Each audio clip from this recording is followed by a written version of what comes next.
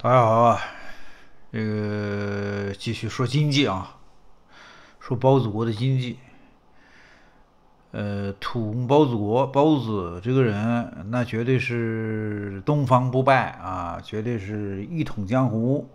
目前国内是找不到特别好的途径去阻止他啊，基本上既没有人也没有途径啊，除非是有一天军队的人出现一个瓦格拉啊，否则的话不可能有别的途径。但是还有另外一种经济上的途径，而且是在海外。哎，这就是土公过去四十多年形成的一个路径啊！咱也说点知识分子的话啊，叫路径依赖。就是中国共产党为什么发财呢？是吧？加入世贸组织嘛，加入世贸组织就要和两大国际经济的三大吧，三大三大国际的经济的阵营团队有良好的合作。第一呢，就是世界贸易论、世界贸易组织 WTO 是吧？这个你要明白，一定要有这个比较好的关系。第二就是与这个跨国性的经济类的叫做什么联合性的组织，就大名鼎鼎的世界经济论坛，也就是中国人更熟悉的叫做达沃斯是吧？达沃斯刚刚在天津开，夏季达沃斯是每年都是在天津开的啊！你想想。这个世界的经济论坛跟中国那是走得很近的，他跟中国的谁走得很近呢？他肯定不是跟包子走得很近，他是跟改开派走得很近。这是过去四十多年中国经济与世界经济合作的时候形成的一个路径啊！你也可以说的是依赖。所谓依赖，就是你突然想摆脱这个东西是不可能的。所以世界经济论坛这个东西啊，它把这个那些个国家呀、那些个经济控制的蛮死的。那第三个就是华尔街呗。金融大鳄华尔街啊，所以你会发现，细胞子政治、军事、外交，它可以随便乱搞，但是经济这一块儿，他想搞出一个花样，他是不可能的，他没有这个本事，也不是说细胞子没这个本事，任何人来接中国的这个狗屎的摊子，都不可能另辟蹊径，都不可能从头越啊，都不可能打倒重来，那是不可能的。必须要遵守过去已然形成的经济增长的路径，这是毫无疑问的啊！三大要素条件你一定要记住，一个是世界为世界贸易论呃世界贸易组组织 WTO，第二是世界经济论坛，是吧？施瓦布，哎，达沃斯，这几个东西很重要。第三就是美国的华尔街啊，云集了全球的投资家，是不是？你没这块儿。你没钱，你搞不定，没资本，知道吗？所以这个国内的改开派现在是肯定是被细胞子拍死了啊，都一个回家去抱孙子去了啊，没什么没什么本事了。但是他们还有一些残余的实力，这种残余的实力在国际上面还正在不断的释放出声音，正在不断的想办法给细胞子添点麻烦。说不定哪天细胞子就不行了，因为细胞子它是个空架子。你任何一个国家，你如果经济不好，你其他地方扯得再凶，也是个扯淡的事情。它是个空架子，是吧？就像毛毛泽东当年吹到天上去了，你们经济不好，你没用，空架子。细胞子也是这样子的啊。所以我呢是真的是蛮相信啊，蛮相信王岐山这个人有可能真的去美国的，因为华尔街这块儿。哎，你要知道，就是王岐山一个人给撑着的。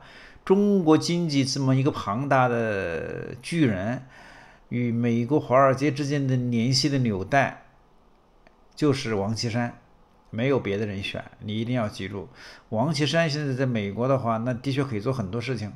第二就是今天的达沃斯论坛，知道吗？哎，在天津召开，你你就记了个住了啊。改开牌要要要利用这样的一个时候来放点声音的，要放点声音的啊！我今天看到那个很有趣的声音，也是想跟大家坐下来谈一谈的啊，就是一个叫金克宇的这么一个小姑娘啊，她一番关于经济的讲话，在这样的一个时刻做出的这样的一个讲话，代表着改开派通过海外，通过世界经济论坛。通过达沃斯论坛所发出的最强大的声音是说给习近平听的，哎，他说什么呢？我们看一看啊，这个联合早报有报道啊，说这个金科宇说中国没有足够的资源出台大规模的刺激政策，这是第一句话。什么意思呢？就是如果所谓刺激政策就是发钱呗，量化宽松呗，你还能有什么呢？是不是？说你现在没有资源了，没有东西，你搞不定，这个路是走不通的。第二就是什么呢？未年未来几年最重要的工作是要增强私营经济的信心，哎，要增强私营经济的信心。私营经济现在已经没有信心了呀，谁有信心？谁有信心？谁谁是二百五啊？谁是傻蛋呢？所以有人就解释说，这个金科宇是话里有话啊，中国的经济要想重新把信心、经济增长的信心给找回来，那只有一个办法，就习近平下台或者习近平嗝屁，就这么两个办法。其实就一个办法，是吧？但是现在北京，习近平关于经济这块他是怎么做的呢？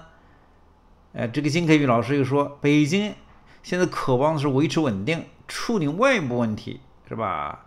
在对待国内的深层次的改革上，并没有足够的动力，所以也就是说，现在习包子他的整个的团队，他的太监团队，经济是放在后面的后面，他现在主要是跟俄罗斯的关系，中俄之间的战略联战略联盟是吧？外交怎么与美国打仗是吧？怎么台湾问题搞这些个事情，怎么把这个他的内部的这个。这个军心民心的收拢，维护细胞子的农艺，我觉得讲的不错的啊，这是一个大概齐的一个说法啊，但是他也讲的蛮仔细的，我我们也把它详细说点啊。说这个金科宇星期三在天津举行的北京达沃斯论坛受访时指出，中国仍有足够的刺激经济的空间，问题是刺激规模必须非常大，才能产生一定的影响。说，二零零八年全球经济危机后，中国曾经出台四万亿救市计划，防止经济陷入衰退。金科宇认为，与当时不同，中国政府如今受到限制，没有足够的资源出台数以万计的大规模的刺激措施，刺激措施所产生的回报也远远不及当年。他说，从这个意义上，我们陷入了一个恶性的循环，你需要大规模的刺激措施，才能产生一点点适度的影响。啊，所以金科宇就建议官方采取充分的行动，保持经济增长。啊，这个所谓的行动是什么呢？你现在资源不够啊，是不是？你怎么翻番呢？怎么实现经济增长呢？这的确是非常的考验人啊。所以说，至于具体的经济措施，啊，中国不仅不能仅靠更多的投资基建拉动经济增长，必须要有良好的宏观经济的环境。更大的透明度，为中小企业提供更多的支持。呃，目前居民收入增长缓慢，私营企业盈利能力也也也也也也很差，需求严重不足，导致经济放缓。一部分主要是信心的问题。那是信心怎么来呢？是不是？你想想吧，今天中国的经济搞成这样，就是因为习包子上台了呀。当然呢，金科宇他不可能把话说的这么露骨了，我们就干脆就简单说吧，就把话说出来了，是不是？所以他说要进一步方新新一步性结构性的改革，以移除经济中阻碍人员和货物跨地区流动的扭曲，广泛的开放开放服务服务业，对青年失业的问题，他说这个要要要要要要解除很多的服务业的这个制这个这个行业的壁垒。啊，说你现在搞稳定，处理外部问题与经济增长是冲突的，哎，这个话就是过去说了一万次的一些个所谓的什么话呢？一万次所谓的改开派说的话，以前李克强就这么说话的，为什么现在出现一个金科宇在达沃斯论坛说这个话呢？是不是？你这要就要就要多分析一下，多想一想嘛。所以我上来就跟大家讲，中国经济过去形成的三大路径依赖。一个是世界贸易组织，一个是达沃斯论坛，就是所谓的世界经济论坛，还有一个就华尔街。这个金科宇是何许人也？哎，你要你一定要记住啊！金科宇，年轻人，八二年生的啊，中国经济学家，是英国留学的啊，现在是英国伦敦政治政治经济学院经济学的副教授，这是世界经济论坛全球青年领袖。是吧？他的关键，他有一个爹，他的爹呢是金立群，金立群呢曾经做过中国财政部的副部长，现在是亚洲经济设施投资银行的行长，亚投行的行长。所以他们这些人是正儿八经的中国共产党的过去四十年以来形成的一个一个政治势力，叫做所谓的这个改开派，是吧？所以这帮人他说这个话，就代表着我个人认为的。我刚才跟我的北京的几个经济学家朋友，我们也聊会儿天，聊会儿天儿啊，他们也是这么认为的。所以金科宇此时此刻的讲话，基本上就代表了。中国的被被西包子拍死的一群所谓的改开派向全世界释放的声音，也就是说，现在的改开派在中国国内通过政治的、通过军事的、通过外交的、通过社会的种种的途径是无法通过军事的，是无法挑战习近平的。但是唯一一个可以挑战习近平的就是经济。事实上，中国过去这些年啊，之所以变成了一个财大气粗的土豪。也就是因为经济不一样了，细包子之所以全世界撸袖子，也就是因为觉得自己有钱，经济有实力，所以经济是本呐，其他都是末啊，是吧？所以现在的改开派想扭转中国的局面，就只有一个办法，就是联合世界经济论坛、达沃斯论坛这帮这个全球精英，联合华尔街日、华尔街论坛的那些个金融大鳄。